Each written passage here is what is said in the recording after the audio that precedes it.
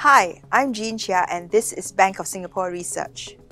The economic outlook continues to be challenging for financial markets.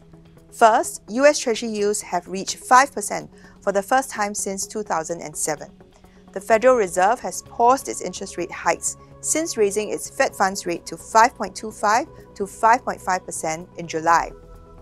But the central bank continues to warn it may need to increase rates further to curb inflationary pressures. The US economy also remains surprisingly strong.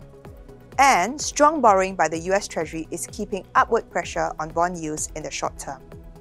We remain concerned that tighter financial conditions, waning pandemic savings, and peaking government spending will cause a recession in the US in 2024.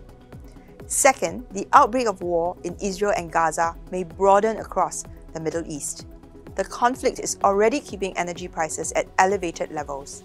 If other countries become embroiled, then oil prices could surge above US $100 a barrel, as occurred last year when Russia invaded Ukraine. Third, recession fears continue to darken the outlook for Europe.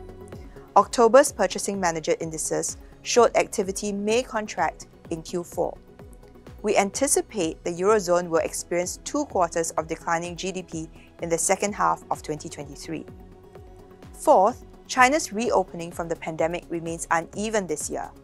We forecast solid GDP growth of 5.4% for 2023, with the government announcing an unscheduled increase in its budget deficit for the first time since the year 2000.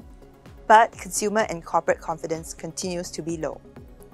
Last, the Bank of Japan is gearing up to exit its long period of negative interest rates as inflation becomes entrenched in Japan.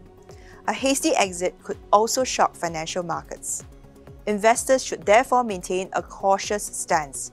We continue to recommend an underweight exposure to equities, a preference for high quality treasury and corporate bonds, and globally diversified portfolio of assets.